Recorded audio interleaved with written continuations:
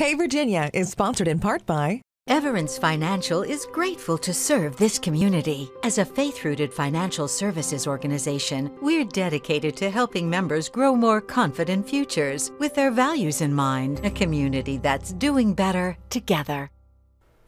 Hey Virginia, what's going on? I'm Kate Martin, your host, and in this episode, we'll meet an amazing Charlottesville artist, explore caverns deep below the surface, and we'll even get an inside look at the world of roller derby.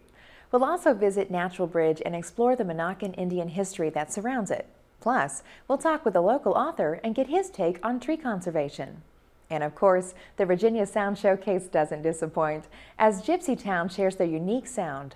All this and more on this episode of Hey Virginia.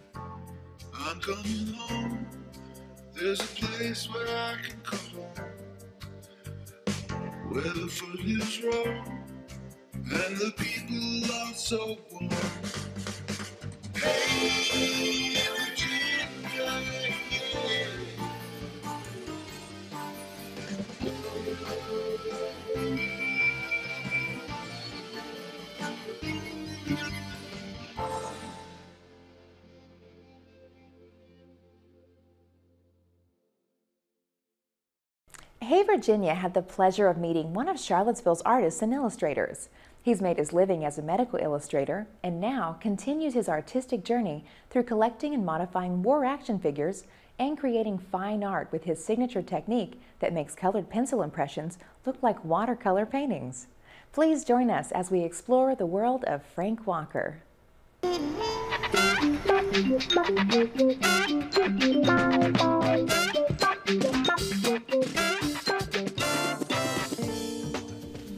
since childhood, uh, we used to read comic books and used to emulate comic books, my brother and myself. And we would draw from comic books and just started drawing everything that was visible. And uh, the, the kicker was, I, I guess the most influential thing was that we had, this is Frances Brand, the Purple Lady, gave us a show, a backyard art show.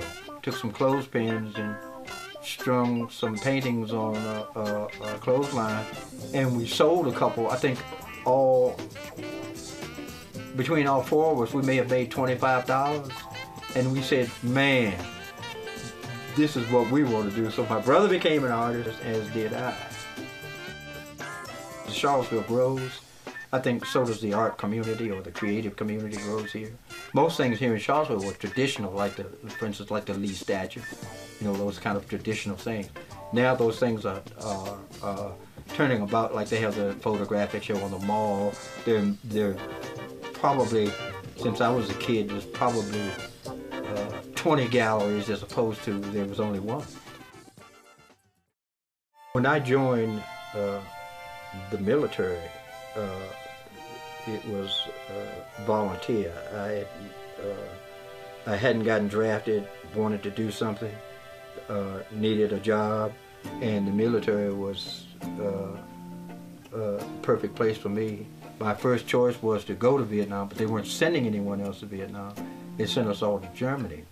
And so that is what the military taught me. You, you do whatever you do, do it well and, and do it to the end of the day. I'd do shows at military shows and I would do talks. Uh, usually when I did a show, I'd have the African American soldiers out because I'd see kid African American kids come by and they had no idea that their parents or their uncles had served in, in, at such a time. And even historically, I'm a historian as well, uh, that these that African American soldiers actually had participated in every fight in this nation's history. And so it, to tell those stories, like most people would not even realize that they were black Confederate soldiers. My favorite medium would be pencil, or uh, some people refer to it technically as graphite. Uh, uh, that's my favorite and then it would be watercolor, uh, then oils, um, and color pencil. Have a technique with color pencil. It's called painting with pencils, and it is very sh short strokes, layered color, which look more like a painting than they do a drawing. But it's uh, uh, I've learned various techniques from uh, from being in the illustration business. Uh, for myself, I just always liked to draw ever since I was a child. Just drawing, drawing, drawing, drawing, drawing. And, and I do this every day. Uh, there's probably not a day that doesn't go by that I don't doodle or, or draw something. Frank Walker's fine art can be found on display permanently in downtown Charlottesville.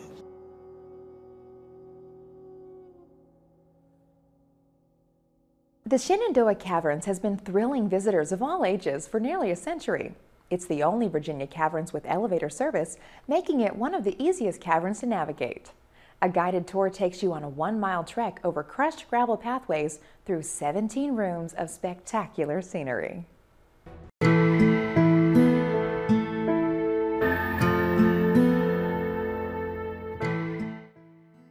The caverns itself these formations that you see behind me, such as the beautiful flowstone, gets its appearance because it looks like it is flowing down over the wall.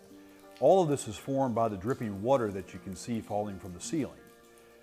The water as it seeps through the ground when it rains outside, or when the snow melts, it seeps down through the surface and it collects different types of minerals, mainly calcium in this particular caverns.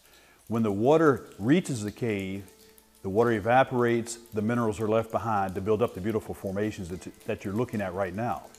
One of the interesting things about the caverns, it does take about 120 years to form a cubic inch of these beautiful formations. So when you're coming into the caverns, you almost have to look at it as the aspect of being in a museum. The caverns uh, environment is a very fragile environment, so we ask that visitors to the caverns make sure that you don't touch or handle the formations.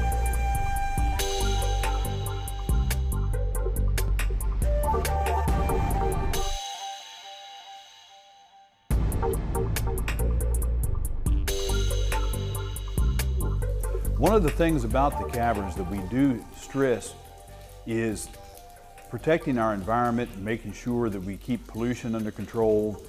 Here in the Shenandoah Valley alone, we know of over 2,000 caverns. Now, not necessarily as large as the Shenandoah here, but anything that goes onto the surface, whether it be pollutants or anything of that nature, can get into our groundwater. If they end up in the groundwater, they end up damaging the caverns. Very important to make sure that you don't contaminate the drinking water, which is also the same water that forms these beautiful caverns.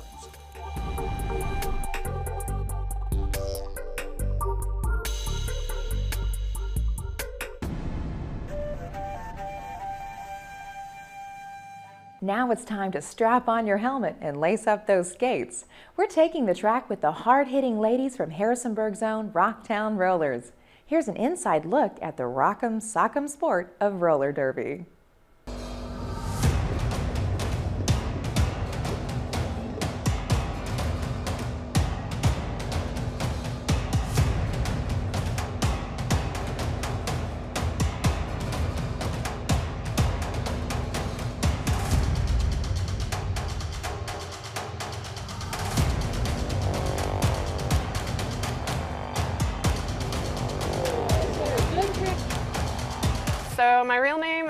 Ferguson and my derby name is Bad Acid. Um, it's always scary trying something new, but I had a little bit of experience skiing, so I kind of understood the skate motion, but I think the biggest draw for me was just being with a big group of strong women and having something to do extracurricular outside of my studies. You know, when I was younger, I really loved skating. I was a rink rat. I was there all the time. And so when I got a little older and had kind of gotten out of it, I came to this rink here at Funky's and the ladies told me that there was a roller derby team in town. I came to the next home bout, fell in love, and I was at the very next practice. Actually, for me, the hardest part is truthfully like just the balance of time. I have a family and a young child and a demanding work. So for me, I love roller derby so much, I try to make it work. I would say since it is kind of a, a, grassroots or underground sport, you notice a lot of even teams outside of Harrisonburg's team, there's just a community that if you went to another city, you'd be invited into another team's family, you'd get to skate with them. Um, our drive is just to improve personally, and so it's really competitive, but at the same time, it's really look at what you can do now and just try and be better yourself. So I really appreciate that.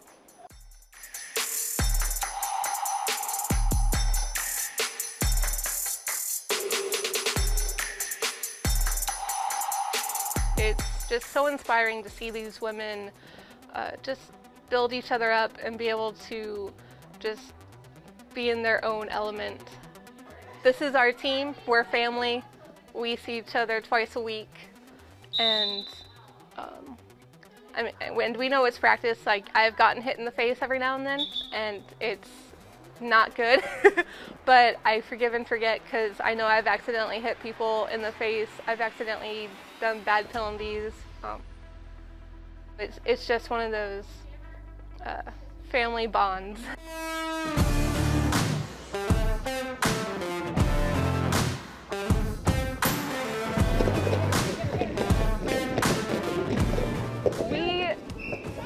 Really rigorous boot camp of screening, if you will, so that we teach people how to fall safely and how to hit safely so that you're making sure the people you play against are safe and you yourself are safe. And so just practicing that on a daily basis gives me enough confidence that I'll, if I do fall, if I do slam into someone, I'm not gonna hit anywhere vital and break any bones. It's, it still could happen, um, I yes, I have been injured. Um, I actually tore my ACL a few seasons ago, um, and it was a very challenging recovery. But um, everybody stayed in support of me, and I was able to, to come here and still participate, even though I wasn't physically able to skate. So of course that risk is out there, um, and not everybody gets hurt. Uh, but I can say from from my experience, obviously it can happen. I feel like the Rocktown Rollers have a really good relationship with the city of Harrisonburg. Obviously, I've only been on this team for a year, but I see we'll go out, people will know us, or um, us getting sponsored by Three Notch, the brewery. We have a connection. We volunteer at quite a few different charities. We have found that communities love their roller derby teams. Uh, roller derby is not just about us being out there on the track and hitting each other around. Um, it's really about more than that. It's about supporting the communities that we're in and vice versa, those communities giving back to us as well.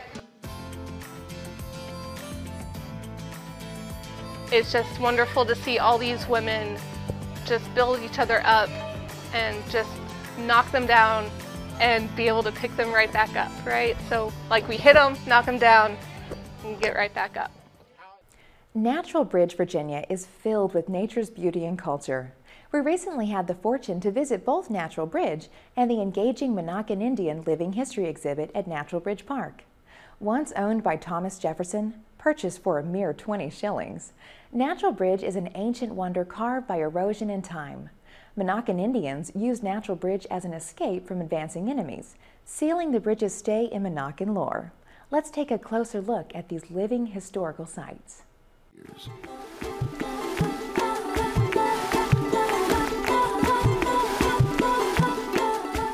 The natural bridge is 215 feet tall, 100 feet wide, and 60 feet long, 90 foot from span to span. The natural bridge is a natural creation which is fundamentally based upon erosion and weathering. It's a process that took millions and millions of years.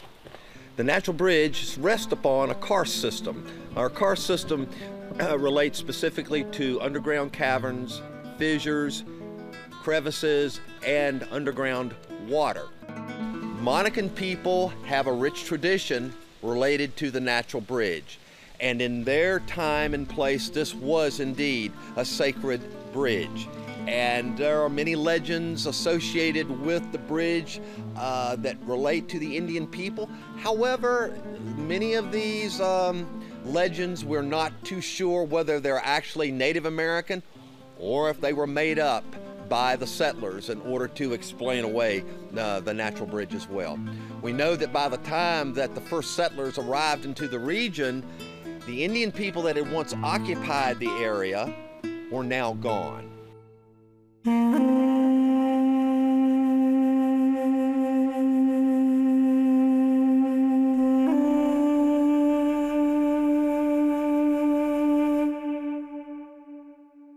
Natural Bridge is a one of a kind place. It is 1,600 acres of cultural history, ancient cultural history, and incredible biodiversity. It's unusual in Virginia for places to be able to trace their heritage directly back to the original indigenous people.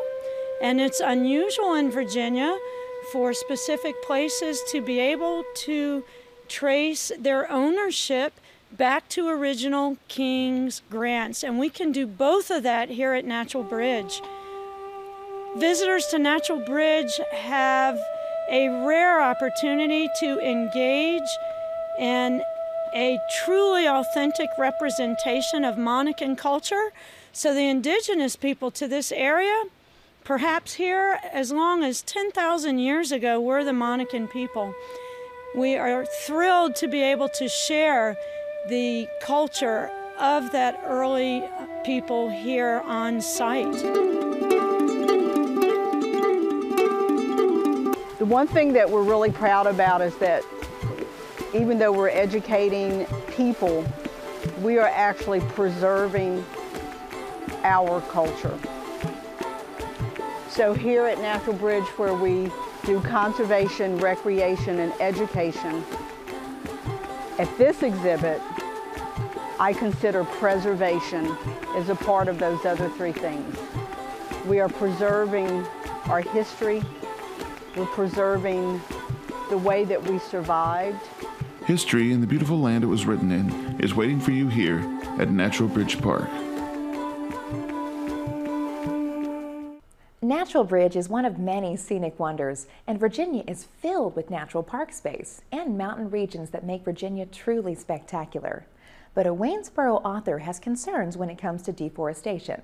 Brian Stout shares his thoughts.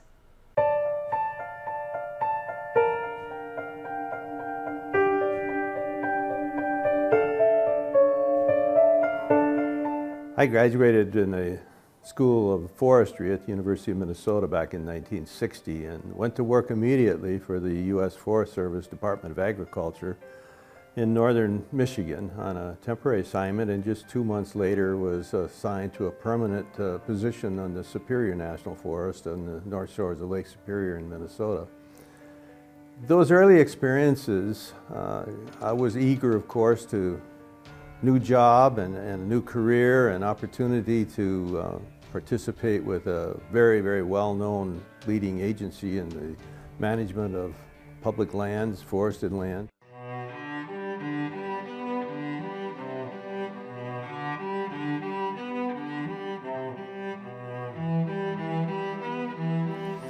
But very early on, I began to question some of the things I was observing that were going on within the science of forestry, and they kind of developed some concerns.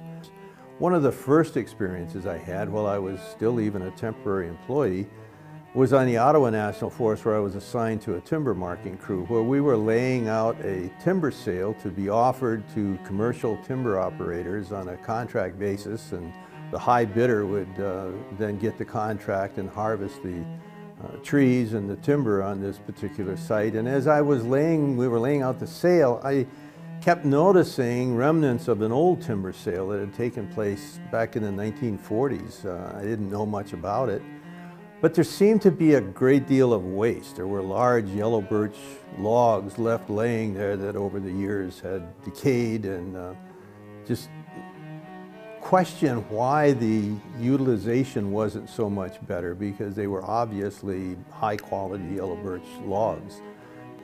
And again, the whole motive and goal behind this timber sale was to supply products from the forest, what we could take from the forest, rather than what the forest really needed for health and diversity. And so These concerns stayed with me and I spent 34 years with the U.S. Forest Service on numerous assignments, in fact 15 different assignments throughout the United States. After 34 years I decided to retire and um, had more time on my hands and these haunting concerns stayed with me. So I began doing some more research on my own uh, as a private citizen now and reading more about the, the natural world and the importance of the forest lands that uh, are left on this planet. And I felt this need to communicate with people and get this story out to people and decided uh, about five years ago to write a book which is called The Trees of Life, Our Forests in Peril. And uh, the whole intent is to explain the importance, the uniqueness of forests and to begin focusing on what the forests need rather than what we want from the forests.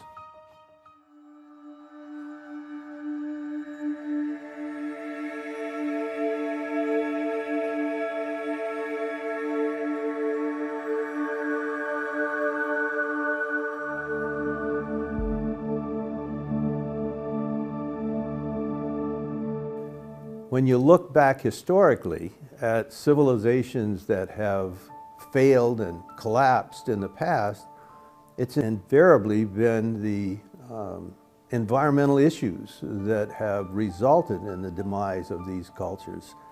And the two most important issues is population expansion and deforestation. We're continuing to deforest the forest-covered lands on our planet at the rate of, or the equivalent of 20 football fields every single minute. I mean, that's hard to believe, but that's what is going on today in deforestation.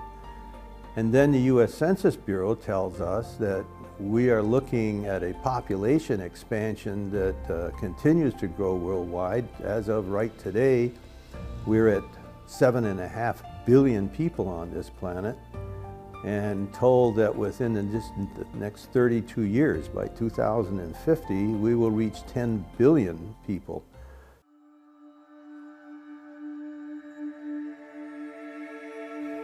So we've taken it upon ourselves to try to get the word out, spread the word of the importance of making some very, very significant changes in the way we relate to Earth. I'm convinced that the Industrial Revolution has in effect lost our intimate relationship that our forefathers and other cultures have had with Mother Earth. A relationship that all things are connected, that every single creature, every single organism plays a role in the circle of life on this planet. And without that, the chain and the circle of life begins to fall apart. Gypsy Town is a band made up of Shenandoah Valley music scene veterans who create a big sound with minimal instrumentation. From blues to jazz and all points in between, their mix of technology, talent, and raw energy give them a sound that's all their own. In this Virginia Sound Showcase, we present Gypsy Town.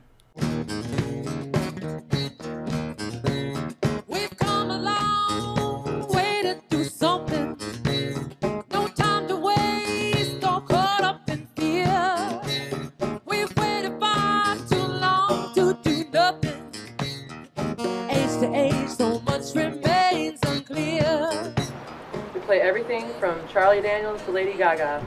There's always some like different, you know, people in the crowd want different music, and all of us like different stuff. It's so, not it's not the same as, as most other bands. Though. Yeah. We play a lot of obscure stuff, but but good, really good stuff.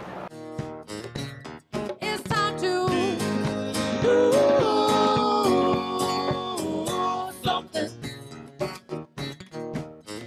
The, the thing I the thing I like about it is is sometimes one of us will think of a song to play, and it doesn't really matter what genre it is. It could be older blues, or some R&B song, or something, and we'll just learn it and do it. And uh, that's that's a pretty pretty cool element about playing with these two. So it's just whatever song we We have fun doing. doing it. Yeah, And yeah.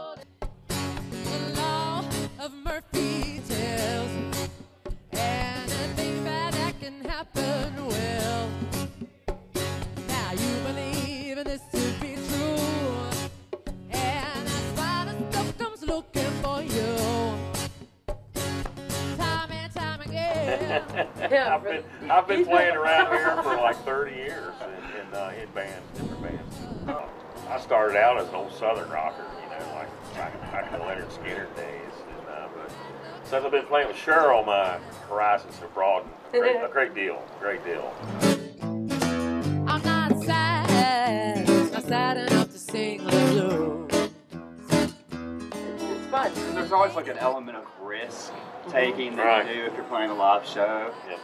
And I think it's kind of a, a double edged. Like it can be rewarding, and then sometimes you know you take risks and they don't always work out. Sometimes, so that's kind of the And that makes the downside. adrenaline flow. Yeah, yeah. but you're, it's something spontaneous though with live music that that it's better. Different at least to me, time. yeah, it's different every time you do it. So it makes it better than you know than a, than a, a recorded version where you hear the same thing over and over and over again.